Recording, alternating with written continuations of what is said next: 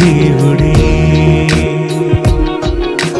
దేవుని గూర్చి చెప్పిన దేవుడే. ఆ, తన కొరకు ఆనాడు చెప్పాడు వేసే గదా తన కొరకు ప్రతిరోజు చెప్పాలి నీవే గదా తన కొరకు నువ్వు చెబితే దైవానివే. గూర్చి నువ్వు చెబితే దైవాని. నీ కొరకు చూశాడు ఆ దేవుడే.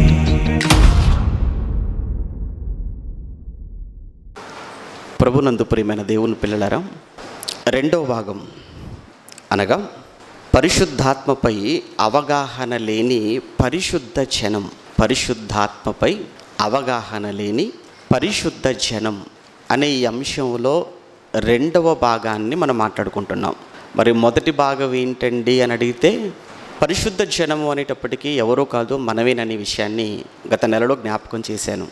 ఎవరైతే యేసును విశ్వసించి యేసు రక్తము ద్వారా తమ జీవితాలను బాప్తిస్మం అనే కార్యక్రమము ద్వారా పరిశుద్ధపరుచుకున్నారో వారిని పరిశుద్ధ జనముగా పిలవటం జరిగింది. అది పేతురు గారి మాటల్లో మనం చదువుకున్నాం. మీరు కేవలం కొత్తగా వచ్చిన వాళ్ళకు తెలియడం కోసం ఒక రెఫరెన్స్ చెప్తున్నాను అంతే పేతురు మొదటి పత్రిక రెండవ అధ్యాయం. మీరు తొమ్మిదో వచ్చినాన్ని మీరు తర్వాత మీరు చదువుకుంటే చీకట్లో ఉన్నాము వెలుగులోనికి మనల్ని పిలిచాడు. అలా పిలిచింది ఎవరో కాదు యేసుక్రీస్తుల వారు. ఆ పిలిచిన ఆయన యొక్క గుణాతిశయములను ప్రచురం చేసే బాధ్యత మనకి ఇవ్వబడింది. ఆయన పరిశుద్ధుడు గనుక పరిశుద్ధుడైనటువంటి యేసును గూర్చి ప్రకటించే బాధ్యత కలిగిన ప్రతి క్రైస్తవుడు పరిశుద్ధుడు. అందుకే మీరు పరిశుద్ధ జనం అన్నాడు.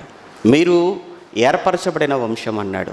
మీరు రాజులు అన్నాడు యాజకులు అన్నాడు దేవుని సొత్తైన ప్రజ అన్నాడు. ఇవన్నీ ఎవరి కోసం కాదు మన కోసమే చెప్పబడినటువంటి మాటలు.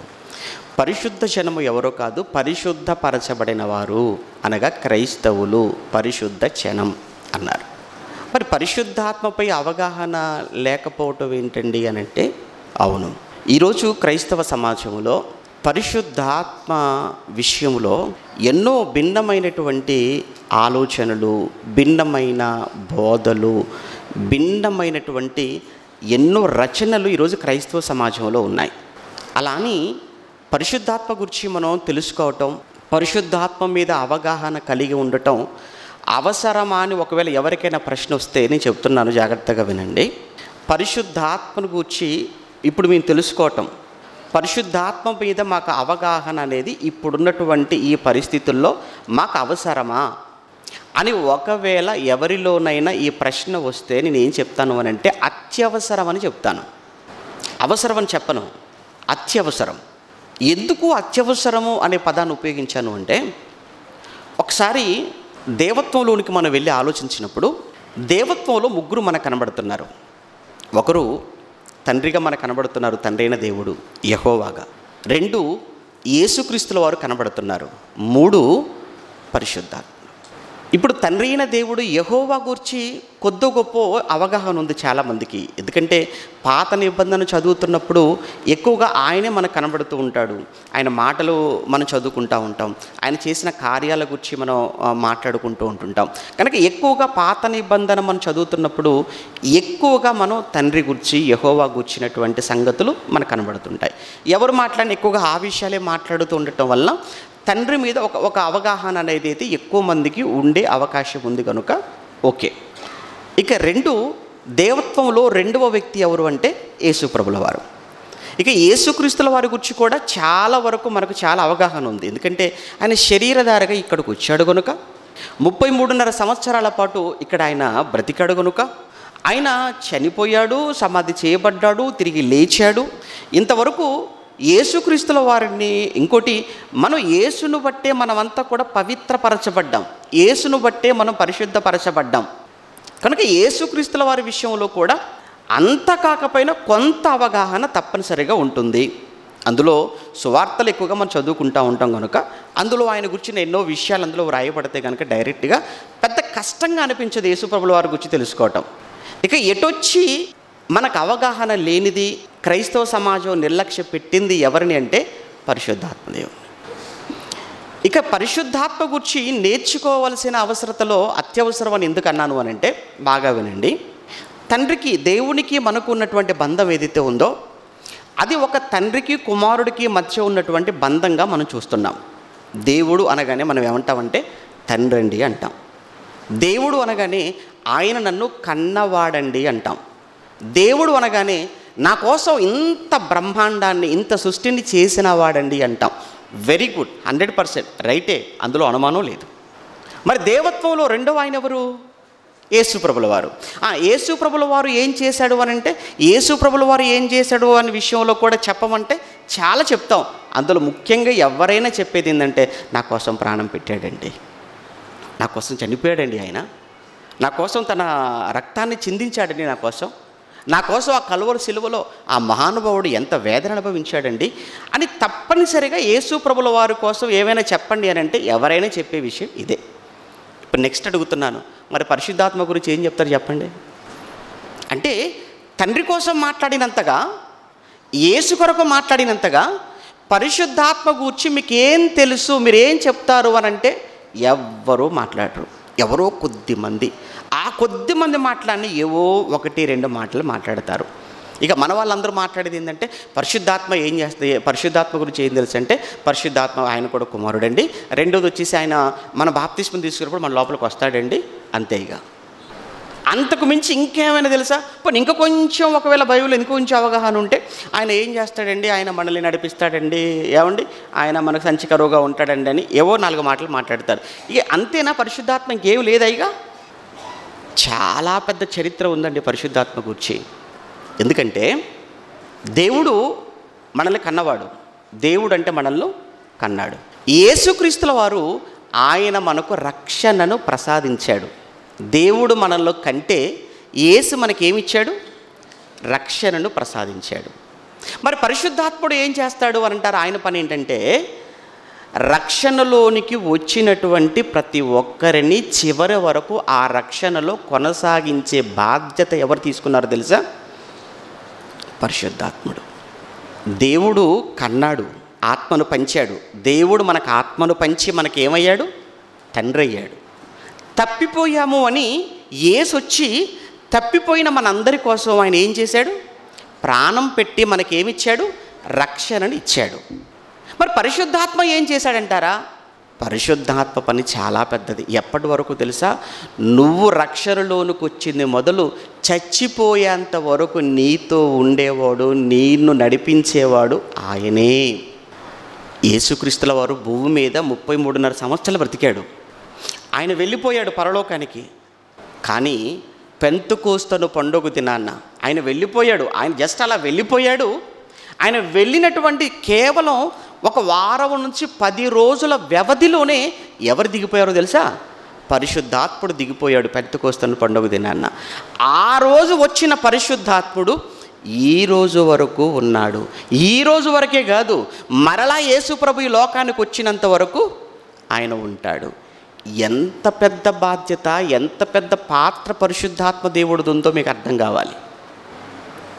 ముఖ్యంగా రక్షణలో లేని వారికి యేసు గురించి చెప్పాలి బాగా వినండి. రక్షణలోనికి ఇంకా రాలేదు అనుకుంటే రక్షణలోనికి రాని వారి కోసం వారిని రక్షణలోనికి నడిపించటానికి దేవుడి కోసం చెప్పాలి తండ్రి కోసం యేసు కొరకు చెప్పాలి. రక్షణలోనికి రావడానికి. ఇప్పుడు రక్షణలోనికి వచ్చిన వారికి తెలియవలసింది ఎవరి గురించి తెలుసా? మీరు చెప్తున్నారు ఇప్పుడు. ఎవరి కోసం తెలియాలి ఇప్పుడు? పరిశుద్ధాత్మ గురించి తెలియాలి. ఎందుకంటే యేసు చేసిన త్యాగం నీకు అర్థమయ్యే నువ్వు వచ్చావు కదా ఇక్కడికి. తండ్రి కష్టం తెలిసే కదా మనం వచ్చాం ఇక్కడికి. ఇప్పుడు ఇక్కడికి వచ్చినటువంటి మనం ఇక్కడ నుంచి మన రక్షణను మనం పోగొట్టుకోకుండా మన రక్షణను మనం చివరి వరకు కాపాడుకుంటూ మనం నిత్యత్వంలోనికి మనం వెళ్ళాలి అని అంటే అప్పటి వరకు అన్ని విషయాలలో మనకు తోడుగా ఉండేటువంటి ఆయనే పరిశుద్ధాత్మ దేవుడు. అందుకే పరిశుద్ధాత్మను గూర్చి తెలుసుకోవటం ప్రతి పరిశుద్ధుని లేదా ప్రతి క్రైస్తవుని యొక్క పెద్ద బాధ్యత ప్రధానమైనటువంటి బాధ్యత. పరిశుద్ధాత్మను గూర్చి సరైన అవగాహన ఆలోచన లేకపోవటం వల్లనే ఒక విధంగా చెప్పాలి అని అంటే సంఘాలలో కలహాలకు కుటుంబాలలో కలహాలకు క్రైస్తవ కుటుంబాల కోసం సంఘాల కోసం చెప్తున్నాను. ఆఖరికి క్రైస్తవ సమాజంలో పరిశుద్ధాత్మ పేరు మీద ఎంత ఆయనను అవమానకరంగా చిత్రీకరిస్తున్నారో కూడా మనం చూస్తున్నాం. పరిశుద్ధాత్మ పేరుతో వారు మాట్లాడే మాటలేంటో పిచ్చి మాటలు వారు చేసే వారు వేసే గెంతులేంటో పిచ్చి గింతులు వాటన్నిటికి కూడా పరిశుద్ధాత్మను ముందు పెట్టి పరిశుద్ధాత్మను ఎంత ఏమంటారు అంటే ఆయన ఎంత ఇబ్బంది పెడుతున్నారో ఎంత బాధ పెడుతున్నారో అనేది మనకు తెలుసు. ఇక పోయిన నెలలో మనం పరిశుద్ధాత్మ గురించి మాట్లాడుకున్నప్పుడు ఆయన ఒక శక్తి శక్తి శక్తి అని ఆయన ఒక శక్తిగా మాట్లాడుతున్నారు. అంటే శక్తి అనేటప్పటికీ శక్తికి ఎమోషన్స్ ఉండవు. కరెంట్ ఉందండి. కరెంట్కి ఏమైనా ప్రేమ తెలుసా? కరెంట్కి ఏమైనా కోపం తెలుసా? కరెంట్కి ఏమైనా దుఃఖం తెలుసా? కరెంట్ ఏమైనా బాధపడుతుందా? అది శక్తే కదా మరి? ఇప్పుడు పవర్ అంటే అది శక్తి అండి. కరెంట్ అంటే శక్తి. ఇప్పుడు పరిశుద్ధాత్మ అంటే కూడా శక్తి అనేటప్పటికీ ఓహో అంటే జస్ట్ అలా వచ్చేసి ఒళ్ళంతా ఏదో ఒక రకంగా చేసి వెళ్ళిపోద్ది అనమాట పరిశుద్ధాత్మ. అంటే దీనికి ఎలా ప్రేమ తెలియదో దీనికి ఎలా కోపం తెలియదో కరెంట్కి పరిశుద్ధాత్మ కూడా అవేమీ లేవనమాట అనే పిచ్చి ఆలోచనలో ఉన్నారు. అందుకే గత నెలలో మనం పరిశుద్ధాత్మనగానే ఈ శక్తిగా మీరు చూడకండి. ఆయన కూడా దేవత్వంలో ఉన్నవాడు. తండ్రి ఎలా ఉన్నాడో యేసుక్రీస్తుల వారు ఆయన ఎలా ఉన్నాడో వారిరువురితో పాటు పరిశుద్ధాత్మ కూడా ఒకడిగా ఉన్నాడు. ఈయన కూడా ఎలా ఉన్నాడు అంటే ఆయన కూడా ఒక దేవుడుగా ఉన్నాడు అన్న ఒక విషయాన్ని కూడా చెప్పాను మీకు. మరల ఒక్కసారి ఆ మాటను చూసి ముందుకెళ్దాం. హెబ్రి పత్రిక తొమ్మిదవ అధ్యాయం. హెబ్రి పత్రిక తొమ్మిదవ అధ్యాయం. అపోస్తుడైన పౌలు గారు హెబ్రిలకు రాసినటువంటి పత్రిక తొమ్మిదవ అధ్యాయము పద్నాలుగవ వచనం. హెబ్రిలకు రాసిన పత్రిక తొమ్మిదవ అధ్యాయం పద్నాలుగవ వచనంలో నిత్యుడగు ఆత్మ ద్వారా అక్కడ మాట్లాడుతుంది నిత్యుడగు ఆత్మ ద్వారా అని మాట్లాడుతుంది పరిశుద్ధాత్మ గూర్చి. అంటే పరిశుద్ధాత్మను పౌలు గారు నిత్యుడగు ఆత్మ అన్నాడు. ఆ మాట చూడ నిత్యుడగు ఆత్మ నిత్యుడగు తండ్రి అని తండ్రి కోసం మాట్లాడతాం. అదే పదప్రయోగం ఇక్కడ పరిశుద్ధాత్మ గురించి కూడా ఉపయోగించబడిందని అంటే పరిశుద్ధాత్ముడు కూడా నిత్యత్వంలో ఉన్నవాడు అనగా తండ్రి ఉన్నాడు యేసుక్రీస్తుల వారు ఉన్నారు ఇక్కడ ఎవరు కూడా ఉన్నారు? పరిశుద్ధాత్ముడు కూడా ఉన్నాడు. ఎప్పటి నుంచి ఉన్నారు అంటే సృష్టికి ముందు నుంచే ఉన్నారు. మీకు అర్థమైంది? సృష్టికి ముందే ఉన్నవారు. సృష్టికి ముందే తండ్రి ఉన్నాడు సృష్టికి ముందే యేసుక్రీస్తున్నాడు సృష్టికి ముందే పరిశుద్ధాత్మ కూడా ఉన్నాడు. అయితే ఉన్నటువంటి ఈ పరిశుద్ధాత్మను ఏమని సంబోధించాడు అన్నప్పుడు పేతృగారు దేవుడిగా సంబోధించాడు ఆయనను. ఆయనను దేవుడిగా కూడా సంబోధించాడు. యేసుప్రభు దేవుడు తండ్రి దేవుడు. పరిశుద్ధాత్మ కూడా దేవుడు. పరిశుద్ధాత్మను దేవుడుగా సంబోధించిన డైరెక్ట్గా సంబోధించిన ఒక ఇన్సిడెంట్ ఒక చక్కటి సంఘటన మనం చదువుకున్నాం. అదే అపోస్తుల కార్యములు ఐదో అధ్యాయంలో మనం చదువుకున్నాం గత నెలలో. అక్కడ అననీయ సప్పీరాల విషయంలో అక్కడ మాట్లాడుతున్నప్పుడు మీరు ఎన్నో వచ్చినవది నాలుగో వచ్చిన అనుకుంటాను చూడండి ఒకసారి ఐదో అధ్యాయంలో. నాలుగో వచ్చినంలో పేతురు గారు అననీయను ప్రశ్నిస్తాడు. అది నీ యొద్ద ఉన్నప్పుడు నీదే కదా? అమ్మిన పిమ్మట. అది నీ వశమై ఉండలేదా? ఎందుకు ఈ సంగతి? నీ హృదయములో ఉద్దేశించుకొనుచున్నావు? నీవు మనుషులతో కాదు దేవునితోనే అబద్ధమాడితివి. ఇక్కడ నీవు మనుషులతో కాదు దేవునితోనే అబద్ధమాడావు అన్నాడు. ఇక్కడ పేతురు గారు దేవునితోనే అబద్ధమాడావు అని అంటున్నాడు అని అంటే ఇక్కడ అసలు దేవుని గుర్చిన ప్రస్తావన తీసుకొచ్చాడా అసలు పేతురు గారు? లేదా పరిశుద్ధాత్మ గురించి మాట్లాడుతున్నాడా అనేది కింద ఉందండి కూడా వచ్చిన అది కదా. అందుకు పేతురు అననియా ఈ భూమి వెలలో కొంత దాచుకుని పరిశుద్ధాత్మను మోసపుచ్చుటకు అన్నాడు చూడండి. అంటే పరిశుద్ధాత్మను ఏం చేశాడట అననీయ? మోసం. ఏమండి? పరిశుద్ధాత్మను మోసం. కరెంటుని ఎవడన్నా మోసం చేస్తాడా? కరెంటుని ఎవడు మోసం చేయడండి? శక్తి అనుకుంటే. పరిశుద్ధాత్మ కోసం గత నెలలో విన్నది కూడా మీరు వినాలి. అప్పుడే మీకు ఒక అవగాహన. ఆయనను అయ్యవండి? నేను వెళ్ళిన తర్వాత ఆ ఆయనను మీ వద్దకు పంపుతాడు. ఆయన ఎల్లప్పుడూ మీ దగ్గర ఉంటాడు. ఆయనను లోకము చూడదు అని ఈ మాటలు ఆయన ఆయన ఆయన ఆయన అని మాట్లాడుతున్నాడు అక్కడ యేసుక్రీస్తుల పరిశుద్ధాత్మ కోసం. అంటే ఆయన కూడా ఒక వ్యక్తి. అర్థమవుతుంది? ఆయన కూడా ఒక వ్యక్తి తండ్రి. యేసుక్రీస్తుల వారు అలానే పరిశుద్ధాత్ముడు. ఇక్కడ పరిశుద్ధాత్మను మోసపుచ్చుటకు అన్నాడు. అంటే ఇక్కడ పేతురు గారు పరిశుద్ధాత్మను అననీయ మోసం చేసావు అన్నాడు. అని నీవు దేవునితో అబద్ధమాడావు అన్నాడు. పరిశుద్ధాత్మను మోసం చేశావు అని కిందికి రాకనేమన్నాడు నీవు మనుషులతో కాదు ఎవరితో అబద్ధమాడావు? దేవుడితోనే అన్నాడు. అంటే ఇక్కడ తొమ్మిదో వచ్చిన చూడండి. అందుకు పేతురు ప్రభువు యొక్క ఆత్మను శోధించుటకు అన్నాడు చూసారా అంటే ఇక్కడ పరిశుద్ధాత్మను మోసపుచ్చుటకు అన్నాడు. దేవునితోనే అబద్ధమాడావు అన్నాడు. ప్రభు యొక్క ఆత్మను శోధించుటకు అన్నాడు. ఇక్కడ అసలు పేతురు గారు మాట్లాడుతుంది దేవుని గూర్చా లేదా పరిశుద్ధాత్మ గూర్చా అన్నప్పుడు పరిశుద్ధాత్మ గురించి మాట్లాడుతున్నాడు. పరిశుద్ధాత్మను గురించి మాట్లాడుతున్న ఆ క్రమములోనే ఏమన్నాడు అంటే నీవు మనుషులతో కాదు దేవునితోనే అబద్ధమాడావు. అంటే పరిశుద్ధాత్మను కూడా దేవుడిగా పేతురు గారు మాట్లాడారు. ఓకే. పరిశుద్ధాత్మ కూడా దేవుడు. అయితే ఈ పరిశుద్ధాత్మను గూర్చి అక్కడక్కడ అనగా పాత నిబంధనలో కానీ కొత్త నిబంధనలో కానీ ఒకే పదం అనేది ఆయన కోసం ఉపయోగించినట్టుగా మనకు కనబడదు. అనేకమైనటువంటి పదాలు పరిశుద్ధాత్మకు పర్యాయ పదాలుగా వాడటం అనేది ఉపయోగించడం అనేది జరిగింది. పరిశుద్ధాత్మకు ఉపయోగించబడిన ఆయా పదాలు పాత నిబంధనలో కానీ కొత్త నిబంధనలో కానీ మీకు తెలిసినటువంటి కొన్ని కొన్ని పదాలు మీరు ఒకసారి ఆలోచించండి. పరిశుద్ధాత్మకు పర్యాయముగా ఉపయోగించబడినటువంటి మరికొన్ని పదాలు.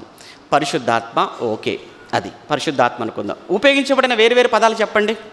ఇప్పుడే ఇప్పుడే ఒకటి చూశారు. ప్రభు యొక్క ఆత్మ అని ఒక పదం చూశారు. ఆ ప్రభు యొక్క ఆత్మ ఇంకా ఇప్పుడు ఆదరణకర్త అంటాడు కదా ఆదరణకర్త అన్నాడు ఉత్తరవాది అన్నాడు సత్యస్వరూపిగా ఆత్మ అన్నాడు మహిమాస్వరూపిగా ఆత్మ అన్నాడు ఏసాత్మ అన్నాడు క్రీస్తాత్మ అన్నాడు.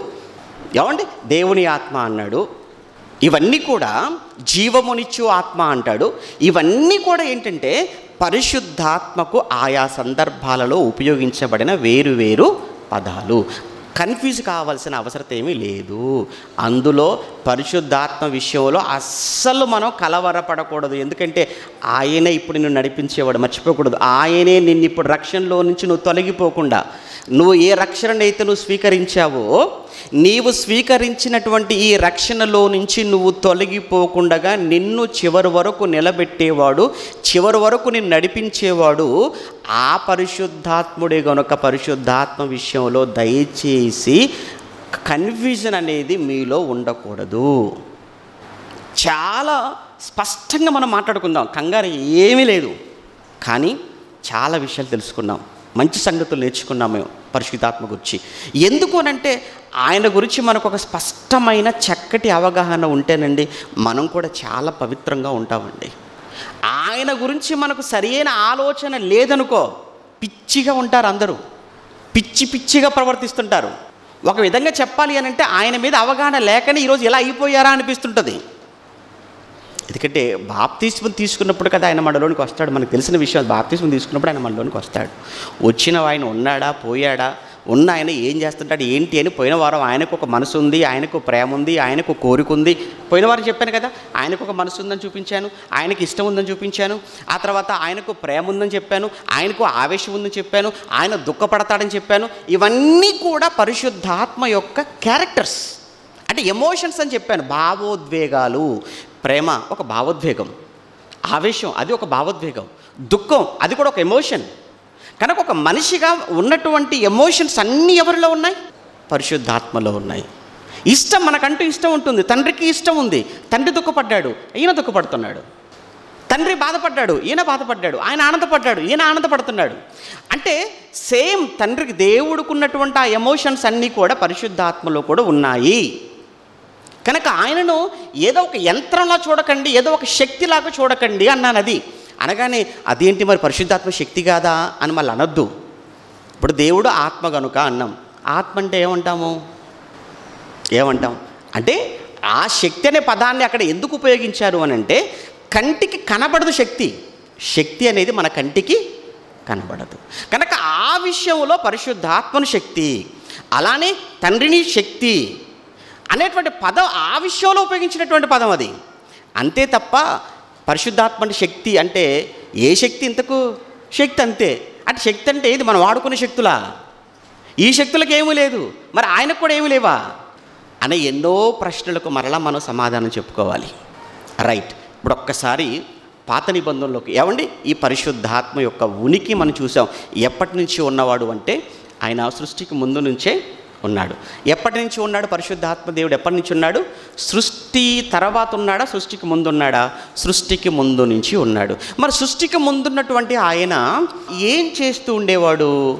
లేదా ఈ సృష్టి చేసేటప్పుడు ఈ సృష్టిలో ఆయనకు కూడా ఏమైనా పాత్ర ఆయనకు కూడా ఏమైనా బాధ్యత అప్పగించబడిందా? ఇంత పెద్ద సృష్టి కదండి. ఇంత పెద్ద సృష్టిలో ఏ ఏమంటే పరిశుద్ధాత్మ కూడా పాలు పంచుకున్నాడా?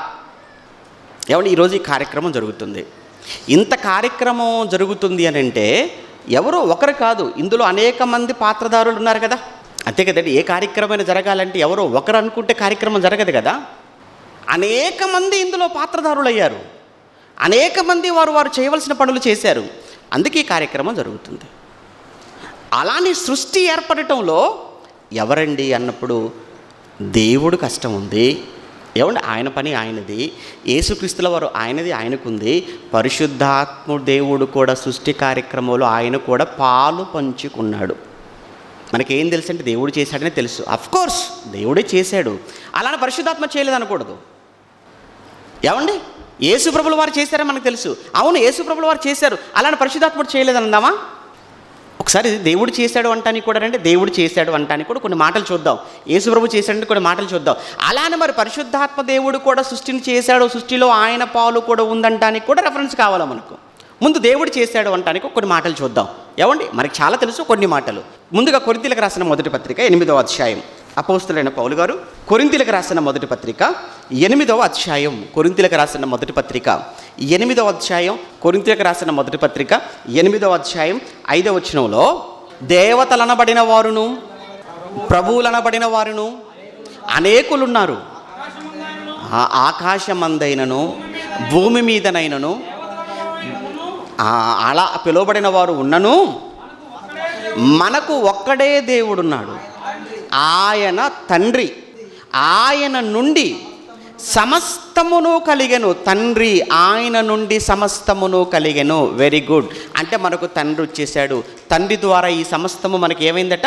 వచ్చేసింది. అంటే తండ్రి సమస్తాన్ని కలిగించాడు. బాగుంది. అక్కడ అలానే చదువుతూ ఇంకొక మాట కూడా అక్కడ చదువుదాం. అలా చదువుతూ కిందికి వచ్చేసేయండి. అదే మాటలు చదువుతూ కిందికి రండి. మరియు మనకు ప్రభు ఒక్కడే. ఆయన యేసుక్రీస్తు.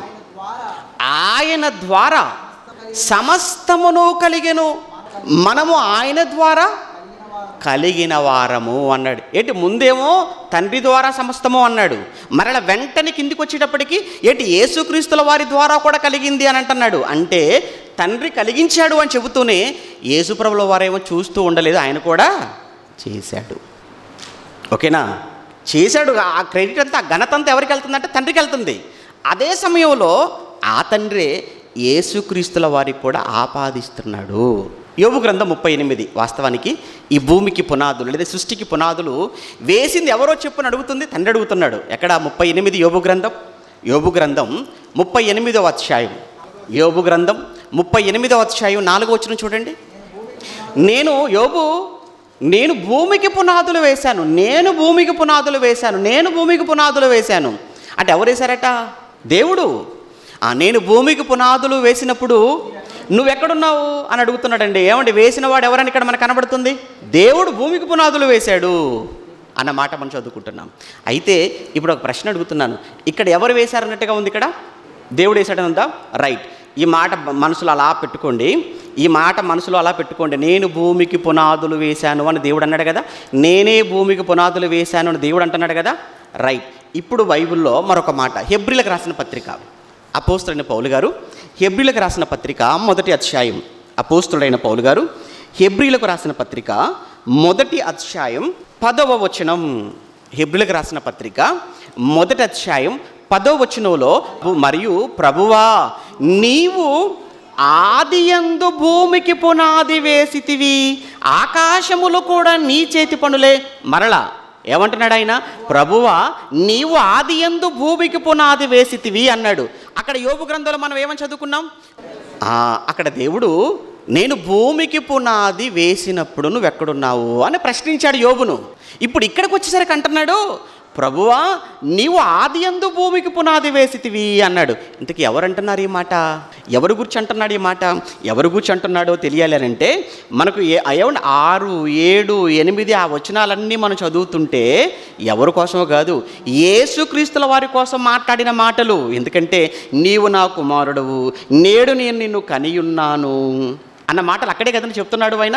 ఏడో వచ్చినవులో ఆరో వచ్చినం కానీ ఏమండి? ఆరో ఐదో వచ్చినవులో నేను ఆయనకు తండ్రి ఆయన నాకు కుమారుడు అని ఆ దూతలలో ఎవరితోనైనా ఎప్పుడైనా చెప్పినా మరియు ఆయన భూలోకమునకు ఆది సంభూతిని అనగా యేసుక్రీస్తును మరలా రప్పించినప్పుడు దేవుని దూతలందరూ ఆయనకి నమస్కారం చేయాలి కదా?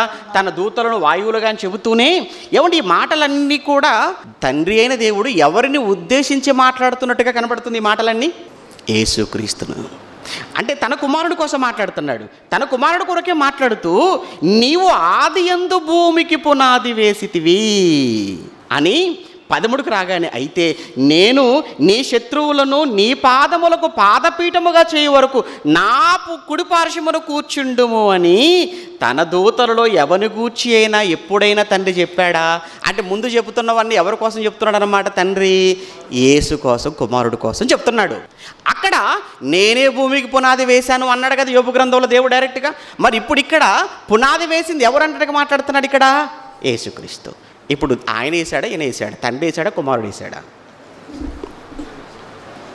ఎవండి ఒకరే వేస్తారు కదండి పునాది ఇద్దరు వేస్తారా? ఎవరు వేశారు? ఎవరు వేశారంటే ఏం చెప్తాం? ఏమండి తండ్రి వేసిన ఆ ఘనత ఆ క్రెడిట్ ఎవరికి కూడా ఇస్తున్నాడు ఆయన? తన కుమారుడికి కూడా ఇస్తున్నాడండి.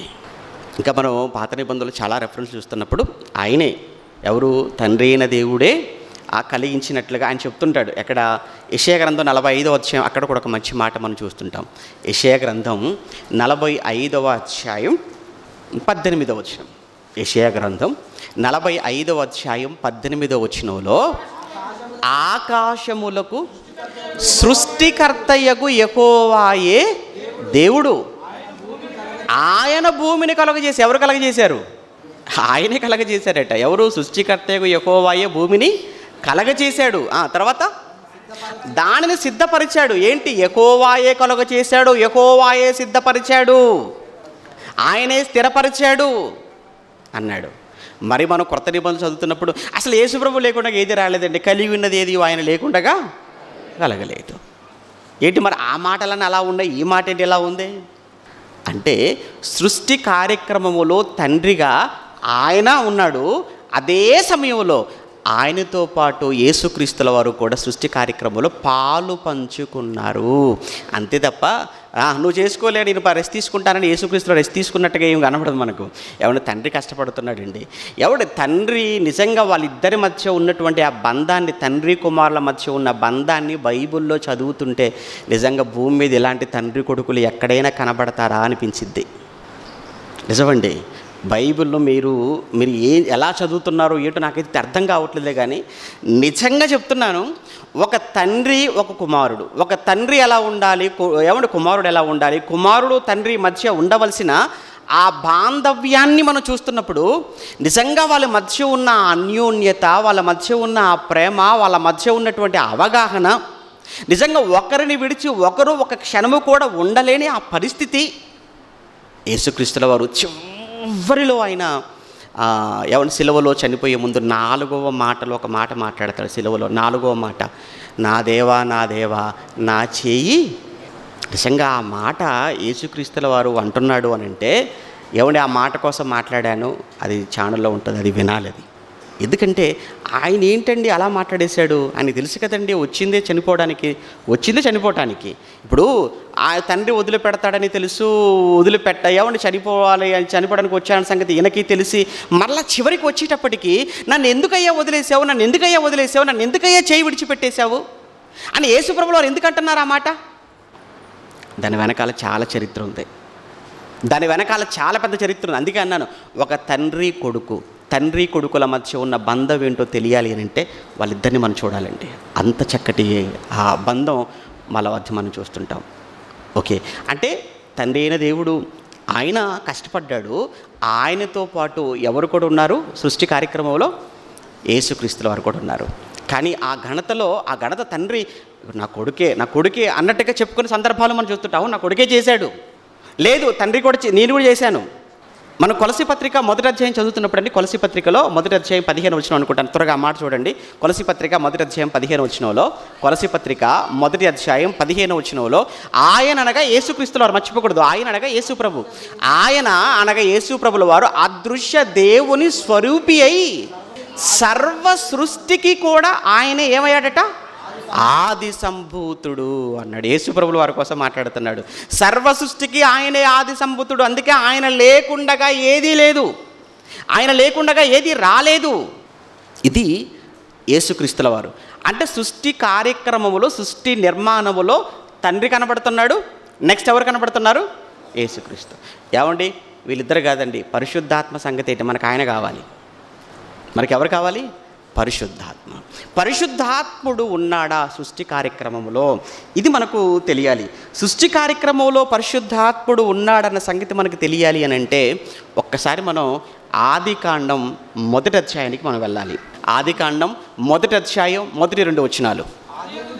ఆది అందు దేవుడు భూమి ఆకాశములను సృజించాను.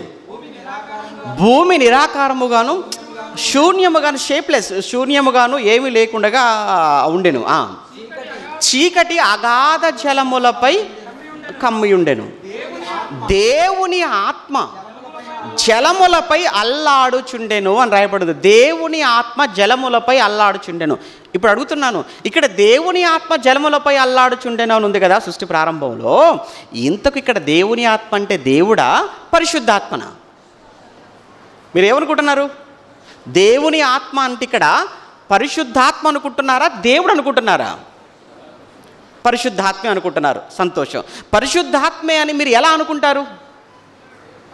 దేవుని ఆత్మ పరిశుద్ధాత్మ అని ఎలా అనుకుంటారు? అంటే పరిశుద్ధాత్మకున్న ఉపయోగించబడిన అనేకమైనటువంటి పదాలు. అనేకమైన నామాలు అని మనం కాసేపు అనుకుంటే వాటిలో ఒకటి దేవుని ఆత్మ. ఇక్కడ ఇంకొక విషయం చెప్తాను మీకు ఏంటంటే చరిత్రపరంగా బైబిల్ పర బైబిల్ పరంగా చూసినప్పుడు పాత నిబంధన అంతా హిబ్రూ భాషలో రాయబడింది ఎస్పెషల్ అది యూదులకు. అంతే కదండి పాత నిబంధన ఎవరి కోసం ఇవ్వబడింది? యూదులకు. యూదులు ఎక్కువగా పరిశుద్ధాత్మ కోసం మాట్లాడుతున్నప్పుడు దేవుని ఆత్మ అని సంబోధించేవారు. పరిశుద్ధాత్మను యూదులు ఎక్కువగా దేవుని ఆత్మ అని సంబోధించేవారు. అందుకే ఎక్కువగా పాత నిబంధనలో మనకు దేవుని ఆత్మ ఒకటి. రెండవది ప్రభువు ఆత్మ. మూడు యెహోవా ఆత్మ. ఇలా ఉంటాయి. పాత నిబంధన అంతా మీరు చదవండి. దేవుని ఆత్మ యెహోవా ఆత్మ ప్రభు ఆత్మ. అంటే పరిశుద్ధాత్మను యూదులైన వారు ఇలా సంబోధించేవారు ఇలానే పిలిచేవారు. అందుకే ఇది ఇది నిజమని చెప్పడానికి బిబ్లికల్గా మనకున్నటువంటి ఒక మంచి ఆధారం ఏంటంటే యేసుక్రీస్తుల వారు బాప్తిస్మం తీసుకుంటున్న సమయంలో యేసుప్రభుల వారు యోహాన గారి ద్వారా యోర్ధాన నదిలో బాప్తిస్మానికి వస్తాడు. అలా బాప్తిస్మం తీసుకుంటున్న సమయంలో ఆకాశం తెరవబడింది శబ్దం వచ్చింది ఇరణా ప్రియకుమారుడని. మరి దేవుని ఆత్మ ఎలా వచ్చిందని మనం చదువుకుంటాము?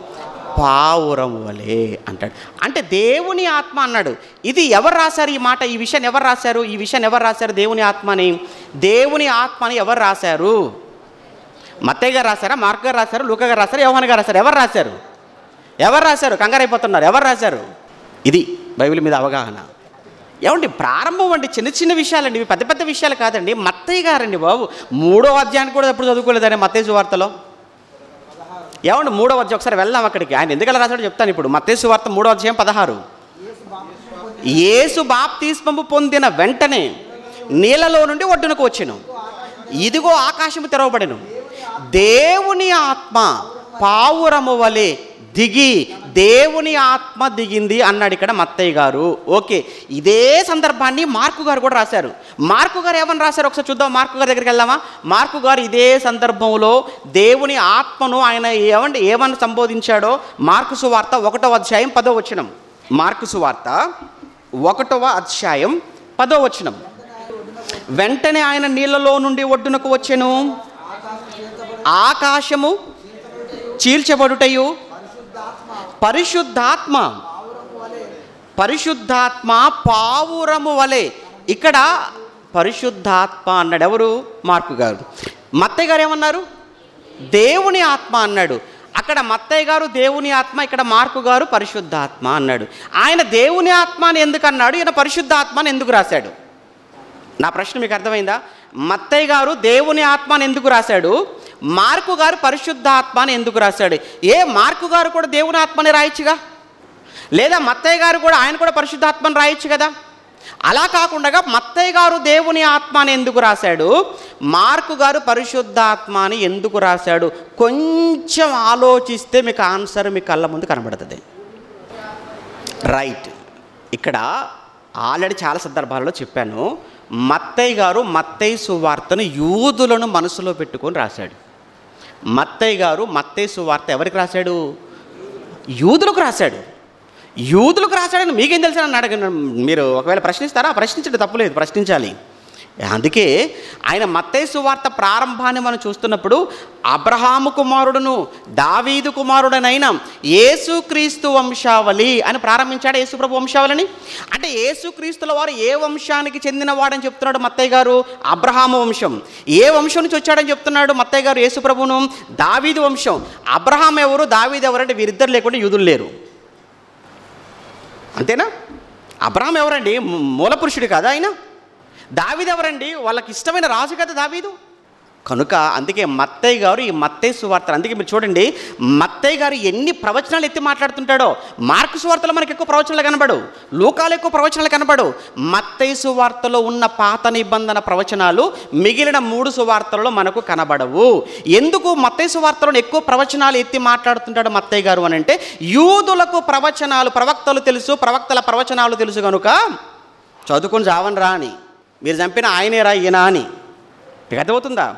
అందుకే ఎస్పెషల్లీ మత్తయ్య గారు మత్తయ్య సువార్తను యూదులను మనసులో పెట్టుకొని రాశాడు. యూదులు పరిశుద్ధాత్మను దేవుని ఆత్మగా వాళ్ళు మాట్లాడతారు కనుక దేవుని ఆత్మ అన్నాడు. మరి మార్కు గారు ఆయన యూదులకు కాదు రోమిలకు రాశాడు ఆయన. మార్కు గారు రోమిలకు రాశాడు ఆ సువార్తను. అంటే అన్యులకు రాశాడు. అందుకే పరిశుద్ధాత్మ అన్నాడు. ఇది ఏమండి ఇది క్లియరా? దేవుని ఆత్మ అక్కడ దేవుని ఆత్మ జలముల మీద అల్లాడుచుండెను అన్నాడు. దేవుని ఆత్మే కాదు పాత నిబంధనలో యహోవ ఆత్మ ప్రభువు ఆత్మ ఈ పదాలు కూడా మనకు కనబడుతుంటాయి. ఆ ప్రభు ఆత్మ ఆత్మ అన్నా కానీ పరిశుద్ధాత్మనే కంగారు పడాల్సిన పని లేదు. ఎందుకంటే మనకు తర్వాత మళ్ళీ మీరు కన్ఫ్యూజ్ అవ్వకుండా ఇప్పుడు క్లారిటీ ఇచ్చేస్తాను. అరవై ఒకటవ అధ్యాయం యషయా గ్రంథం. యషయా గ్రంథం. అరవై ఒకటవ అధ్యాయం. యషయా గ్రంథం. అరవై ఒకటవ అధ్యాయం మొదటి వచ్చినాం యషయా గ్రంథం అరవై ఒకటవ అధ్యాయం. మొదటి వచ్చిన చూడండి. ప్రభువకు యెహోవా ఆత్మ నా మీదకు వచ్చి ఉన్నది.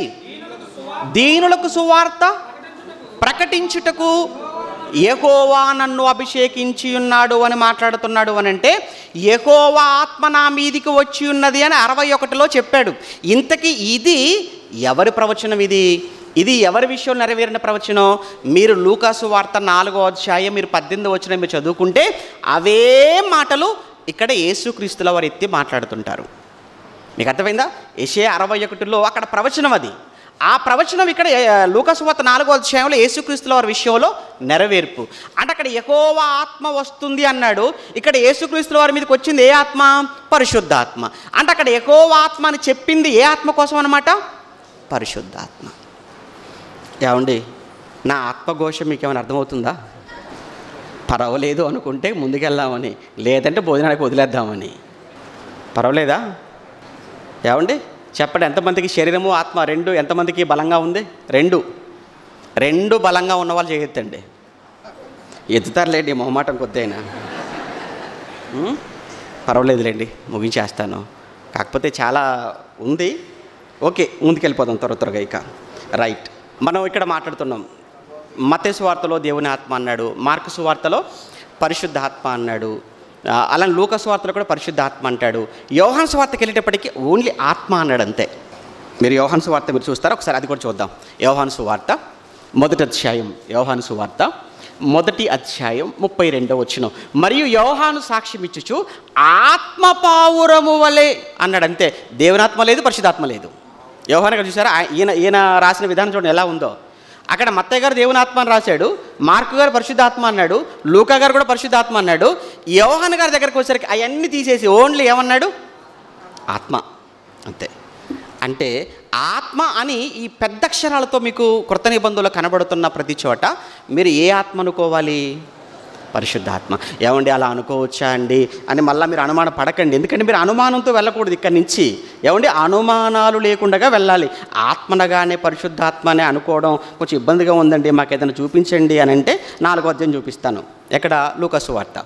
లూకాసు వార్త నాలుగో అధ్యాయం. లూకసు వార్త నాలుగో అధ్యాయం మొదటి వచ్చినం లూకసు వార్త నాలుగో అధ్యాయం మొదటి వచ్చినాం యేసు పరిశుద్ధాత్మ పూర్ణుడై చూడండి యేసు పరిశుద్ధాత్మ పూర్ణుడై యోర్ధాను నది నుండి తిరిగి వచ్చి నలువది దినములు ఆత్మచేత అరణ్యములో నడిపింపబడి అన్నాడు. ముందు పరిశుద్ధాత్మ పూర్ణుడే అన్నాడు. ఆ పదం చూడండి అక్కడ. ముందేమన్నాడు మొదటి వచ్చినలో పరిశుద్ధాత్మ పూర్ణుడు అన్నాడు ఎవరు? యేసుక్రీస్తుల వారు అంటే యేసు ప్రభుల వారు పరిశుద్ధాత్మ పూర్ణుడై యోర్ధాను నది నుంచి తిరిగి వచ్చి నలుబది దినములు ఆత్మచేత అరణ్యములో నడిపింపబడి అన్నాడు. అంటే పరిశుద్ధాత్మ పూర్ణుడు అని మొదటి లైన్లో చెప్పి వెంటనే అదే లైన్లో అదే వాక్యంలో ఆత్మచేత నడిపింపబడి అన్నాడు. అంటే ముందు పరిశుద్ధాత్మ అన్నాడు వెంటనే మళ్ళీ ఏమనేసాడు ఆయన? ఆత్మ అన్నాడు. అంటే ఆత్మ అనగానే మనం ఏమనుకోవచ్చు అనమాట ఇప్పుడు దీన్ని బట్టి? పరిశుద్ధాత్మ. ఏమండి? ఇంతవరకు పరిశుద్ధాత్మ దేవుని ఆత్మ ప్రభు ఆత్మ యహో ఆత్మ వీటి గురించినటువంటి ఒక క్లారిటీ మనకు వచ్చింది అసలు ఇది కాదు మన ప్రశ్న. సృష్టి నిర్మాణంలో ఈయన పాత్ర ఉందా? అది మర్చిపోయారా మీరు? మీరు మర్చిపోయారు మీరు మర్చిపోలేదు. మన పాఠం అది కదా. ఏమంటే ఇదంతా కాదండి. తండ్రి సృష్టి నిర్మాణంలో ఉన్నాడు. ఏసుక్రీస్తు వారు సృష్టి నిర్మాణంలో ఉన్నాడు. ఇతను ఉన్నాడా? ఉన్నాడా? ఉన్నాడు. ఉన్నాడు అని ధైర్యంగా చెప్తాను ఉండే ఉంటాడుది. వాళ్ళిద్దరు ఉన్నప్పుడు ఈయనకమైపోతాడు ఈయన పడుకుంటాడా? కనుక ఈయన కూడా వచ్చే ఉండొచ్చు చేసే ఉండొచ్చు. లేదు. ఆత్మ జలములపై అక్కడ ఏమని ఉంది అక్కడ? అల్లాడుచుండెను. అల్లాడుచున్నాడు అంటే చాలామంది చెప్తారు అల్లాడుచుండే గిలగిల కొట్టుకున్నాడట. వెలువెళ్ళి ఆడిపోయాడట. లేదండి. ఆయన సూపర్వైజింగ్ అంటాడు. సర్వైంగ్ ఏమంటే సర్వైవింగ్ సూపర్వైజింగ్. అది అది కరెక్ట్. పర్యవేక్షణ.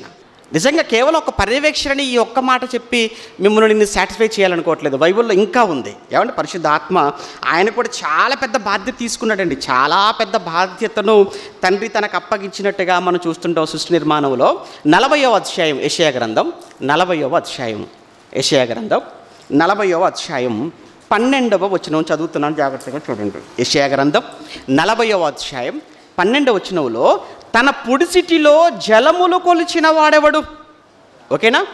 తన పుడిసిటిలో జలములు కొలిచిన వాడు ఎవడు? జానతో ఆకాశములు కొలచూచిన వాడెవడు? ఎవడైనా ఉన్నాడా? ఏంటి ఆకాశాన్నట దేంతో కొలిచాడట? జానతోనట. ఏమండి? భూమిలోని మన్ను కొల పాత్రలో ఉంచిన వాడెవడు అన్నాడు. ఏమండి? భూమి మీద ఉన్న మట్టడి తీసుకెళ్ళి ఏ పాత్రలో పోయించాడు చెప్పండి. చూద్దాం. భూమిలోని మన్ను కొలపాత్రలో ఉంచిన వాడేవాడు? త్రాసుతో పర్వతములు తూచిన వాడేవాడు? పర్వతాలన్నట దేంతో తూచాడట? మనం ఏవో చిన్న ద్రాక్ష గద్ద ఏమన్నా ద్రాక్ష గెలేస్తాం మనం అందులో అంతే. కూరగాయలు వేస్తాం. ఏంటినా ఆ త్రాసుతో పర్వతములను తూచిన వాడెవడు? తూనిక చేత కొండలను తూచిన వాడెవడు? అంటే చెప్తున్నాడు యెహోవా ఆత్మకు నేర్పిన వాడెవడురా? అన్నాడు. యెహోవా ఆత్మకు నేర్పినవాడు ఎవడు? అంటే యహోవా ఆత్మ అంటే ఎవరు అనుకుంటున్నారు ఓహో మీకు యెహోవా ఆత్మ అంటే ఎవరో మళ్ళీ మీకు చెప్పలేదేమో కదా? అక్కడ అక్కడ ఏం చూశారు? ఐషయా గ్రంథం అరవై ఒకటిలో? ఏషయా అరవై ఒకటిలో ఏం చదువుకున్నారు? ప్రభువగు యహోవా ఆత్మ అని చదువుకున్నారు కదా. ఒకసారి పదకొండు కూడా చదువుతారా? పనిలో పని? ఏది? ఏషియా గ్రంథం. ఇదే ఏషియాలోనే ఉందాం పదకొండవ అధ్యాయం కూడా ఒకసారి రండి. ఏషియా గ్రంథం పదకొండవ అధ్యాయం. ఎషయి మొద్దు నుండి చిగురు పుట్టును వాని వేరుల నుండి అంకురము ఎదిగి ఫలించును. యహోవా ఆత్మ జ్ఞాన వివేకములకు ఆధారమగు ఆత్మ ఆలోచన బలములకు ఆధారమగు ఆత్మ అన్నాడు. అంటే యహోవా ఆత్మ అన్నాడు. ఎవరు అనుకుంటున్న యహోవా ఆత్మ అంటే ఎవరో కాదు ఆయనే పరిశుద్ధాత్మ. ఏషియా అరవై ఒకటిని లూక నాలుగు పద్దెనిమిదితో మనం పోల్చినప్పుడు ఎకోవ ఆత్మ అంటే ఎవరో కాదు పరిశుద్ధాత్మే. ఈ పరిశుద్ధాత్ముడు సృష్టి కార్యక్రమంలో ఉన్నాడంటే ఉన్నాడు. అక్కడ ప్రారంభంలో ఆది కాండంలో చదువుకున్నాము. అగాధ జలముల మీద ఆయన అల్లాడుచుండాడు అన్నట్టుగా మనకు చదువుకున్నాం. అంటే ఏంటండి మాకు అర్థం కావట్లేదండి అని ఒకవేళ మనం అంటే నలభై అధ్యాయానికి తీసుకుని వస్తే నలభై అధ్యాయం పన్నెండు వచ్చినలో పుడిసిటిలో నీటిని కొలిచిన వాడు ఎవడు? జానతో ఆకాశములు కొలిచిన వాడెవడు? భూమిలో ఉన్న మన్నును కొలపాత్రలో ఉంచిన వాడెవడు? త్రాసుతో పర్వతములు తూచిన వాడెవడు? తూనిక చేత కొండలను కొలిచిన వాడు ఎవడు? ఎవడైనా చేయగలడా ఆ పని? ఎక్కువ ఆత్మకు నేర్పినవాడు ఎవడు? అంటే ఈ బాధ్యత అంతా తీసుకుంది ఈ బాధ్యత అంతా నిర్వర్తించింది ఎవరు అనుకుంటున్నారు పరిశుద్ధాత్మ. ఏంటి పరిశుద్ధాత్మ దేవుడు సృష్టి కార్యక్రమంలో ఏంటి ఎంత ఏదేది ఎంతెంత పరిమాణములో ఉండాలి అని అన్నీ కూడా చక్కటి కొలతల ప్రకారముగా కొలతల ప్రకారముగా మూడొంతులు నీరు ఉండాలి ఒక వంతు ఆరిన నేల ఉండాలి పర్వతములు ఎలా ఉండాలి ఆకాశం ఎంత ఉండాలి సముద్రాల్లో నీళ్ళు ఎంత ఉండాలి కొండలు ఎంత ఉండాలి భూమి మీద మట్టి ఎంత ఉండాలి ఏంటి ఈ బాధ్యత అంతా కూడా చూసారా? ఇదంతా ఎవరు అని అంటే పరిశుద్ధాత్మ. అంటే ఓవరాల్గా ఒక్క విషయం మనకు అర్థం కావాలి ఏంటంటే ఇది ఒక్కొక్క దాన్ని మీరు విడగొట్టి విడదీసి లోతుల్లోకి వెళ్ళాల్సినంత పని లేదు కానీ సృష్టి నిర్మాణములో తండ్రి ఉన్నాడు యేసుక్రీస్తుల వారు ఉన్నారు పరిశుద్ధాత్ముడు కూడా ఉన్నాడు. ఏమండి? చాలా ఉంది. ఇంకొకటి చెప్పి ముగించేస్తానండి పరిశుద్ధాత్ముడు కూడా ఉన్నాడు. అయితే పాత నిబంధన కాలంలో ఇంకా ఆయన ఏవే పనులు చేసుకుంటూ వచ్చాడు ఆయన పరిశుద్ధాత్మ దేవుడు ఇంకా ఏంటేంటి ఆయన కార్యక్రమాలు ఆయన పనులు ఏంటి అన్నప్పుడు ప్రధానముగా పరిశుద్ధాత్మ దేవుడి పాత నిబంధనలో ఆయన చేసినటువంటి కార్యాలలో ప్రధానమైన బాధ్యత ఆయనకు అప్పగించబడిన ప్రధానమైన బాధ్యత ఏంటంటే తండ్రి అయిన దేవుడి మనసులో ఉన్న ఆలోచనలు. ఆయన దేవుడి మనసులో ఉన్న ప్రతి ఆలోచన ప్రతి కోరిక ప్రతి ఇష్టాన్ని ప్రజలకు చెప్పడానికి ఆయన దేవుడు ఆయన ఎం- ఎంపిక చేసుకున్న దేవుడు ఎంపిక చేసిన ప్రవక్తల ద్వారా దేవుని ఉద్దేశాలు దేవుని ఆలోచనలు ప్రజలకు తెలియచేశాడు. ఇది ప్రధానమైన బాధ్యత అండి ఇది. ఎందుకంటే దేవుని ఆలోచనలు మనుషులకు ఎలా తెలియాలి? దేవుని ఆలోచనలు దేవుని ఉద్దేశాలు భూమి మీద మనుషులకు తెలియాలి అని అంటే ఆ బాధ్యత తీసుకుంది ఎవరు అని అంటే పరిశుద్ధాత్మ దేవుడు తీసుకున్నాడు. చాలా పెద్ద బాధ్యత అండి పరిశుద్ధాత్మ దేవుడు. మనం చిన్నగా అనుకుంటున్నాం పరిశుద్ధాత్మ గురించి. ఒక్కసారి పేదరుగా రాసిన పత్రిక. ఎన్నోసార్లు చదువుకుందే మనం మరలా మనం అది. ఎన్నో మార్లు చదువుకుందే మనం ఆ మాట. పేదరుగా రాసిన రెండో పత్రిక మొదటి అధ్యాయం. పేతురుగా రాసిన రెండో పత్రిక. మొదటి అధ్యాయం ఇరవై ఒకటవ వచనం. పేతృగారు రాసిన రెండవ పత్రిక మొదటి అధ్యాయం ఇరవై ఒకటవ వచనం చూడండి. ఏలయనగా ప్రవచనం అనేది ఎప్పుడును మనుషుని ఇచ్చను బట్టి కలగలేదు కానీ మనుషులు పరిశుద్ధాత్మ వలన చూడండి మనుష్యులు మనుష్యులు మనుష్యులు పరిశుద్ధాత్మ వలన ప్రేరేపింపబడిన వారు మనుషులను ప్రేరేపించాడు. ఇక్కడ బాగా చూడండి మనుషులను ఆయన ఏం చేశాడట? ప్రేరేపించాడు. ఆ మనుషులు ప్రేరేపించబడిన వారై దేవుని మూలముగా పలికిరి అన్నాడు. అంటే దేవుడు ఆయన మనసులో ఉన్న ఆలోచనలు పరిశుద్ధాత్మ దేవుడు భూమి మీద ఉన్న మనుషులను ప్రేరేపించగా వారు మాట్లాడారు వారు పలికారు వ్రాశారు. వారు పలికారు వ్రాశారు. నిజంగా పరిశుద్ధాత్మదేవుడే ప్రేరేపించాడు ఆయనే పలికించాడు ఆయన్నే వ్రాయించాడు అని చెప్పడానికి మంచి ఎగ్జాంపుల్ ఏంటంటే మోషే గారి దగ్గరికి మనం వెళ్ళామనుకోండి మోషే గారు. మోషే గారు ఎందుకంటే ప్రారంభం ఆయనతోనే ఆరంభం అవుతుంది ఆయనతోనే ఆరంభం. ఆదికాండం నిర్గమ లేవి సంఖ్య ద్వితీయోపదేశకాండం ఐదు కాండాలు ఐదు గ్రంథాలు ఈ ధర్మశాస్త్ర గ్రంథాలను మోషే గారే వ్రాశారు. ఇప్పుడు అడుగుతున్నాను మోషే గారు వ్రాశారు అంటే మోషే గారు తన సొంత తెలివితేటలతో సొంత జ్ఞానంతో వ్రాశాడా? మీరు ఆలోచించండి. అలా అని మోషే గారు జ్ఞానం లేనివాడేమి కాదు. మళ్ళీ చెప్తాను మోషే జ్ఞానం లేనివాడు కాదు. మోషే తెలివి లేనివాడు కాదు. మోషే వేలిముద్ర కాదు. మోషేకున్న జ్ఞానం ఏపాటిదో అక్కడ స్టెఫెన్ గారు చెప్తుంటారు.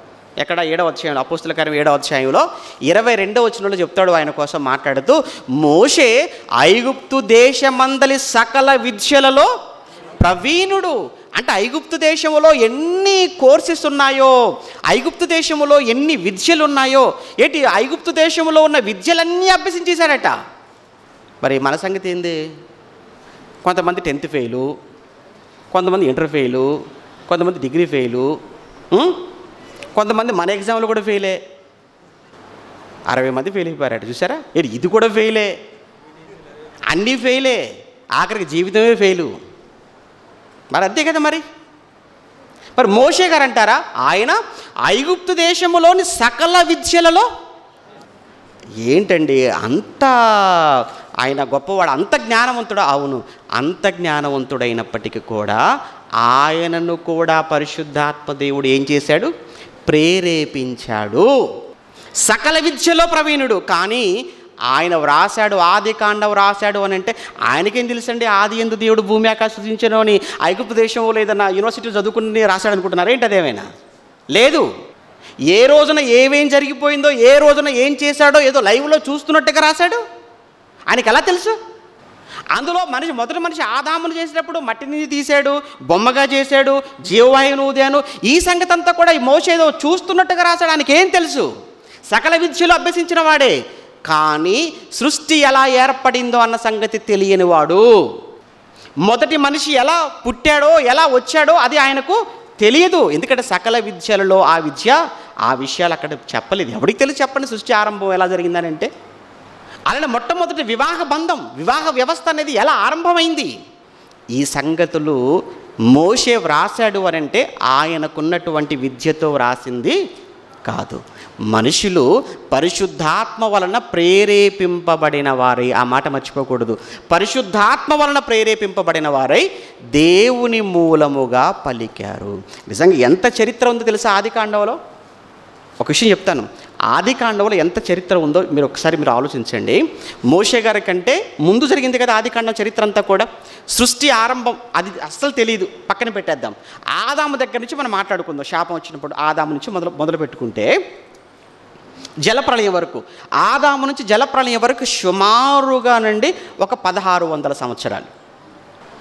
ఆదాము నుంచి జలప్రళయం మరల జలప్రళయము నుంచి అబ్రహాము వరకు.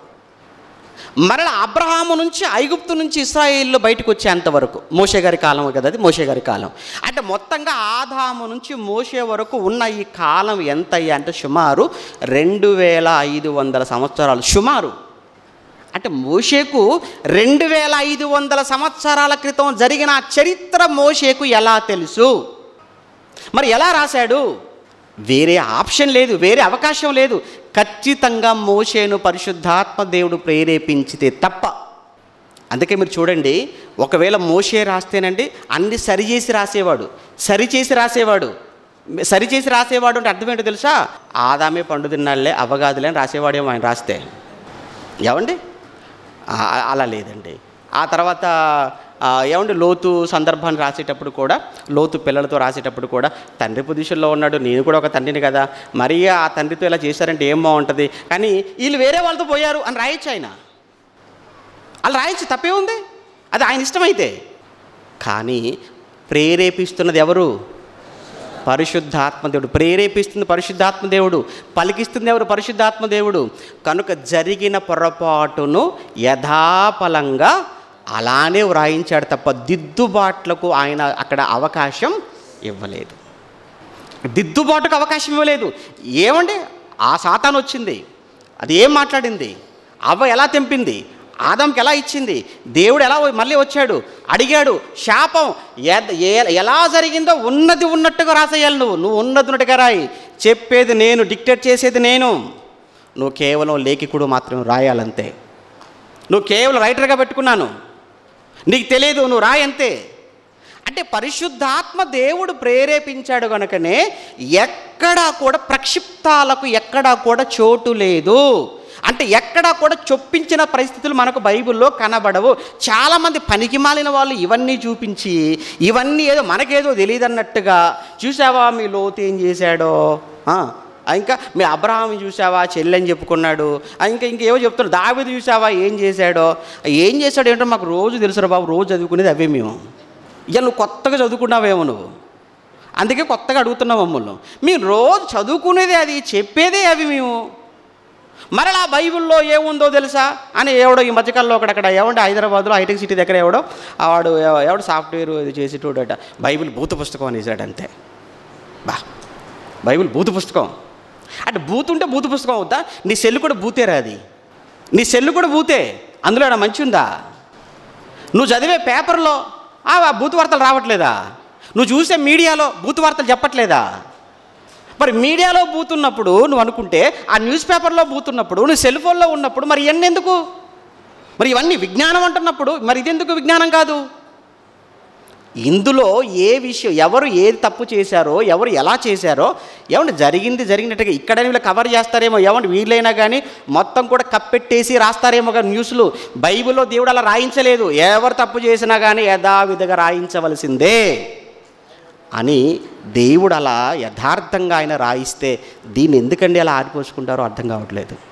కాబట్టి ఒక విషయం అయితే ఇంతటితో ముగించేస్తారండి ఒక్కటి మనకు క్లారిటీ కావాలి ఏంటంటే పరిశుద్ధాత్మ దేవుడు ఆయనకు ఉన్నటువంటి అనేకమైన పేర్లు ఏంటి ఆ తర్వాత సృష్టి కార్యక్రమంలో ఆయన కూడా ఉన్నాడు అనే విషయం మనకు అర్థమైంది.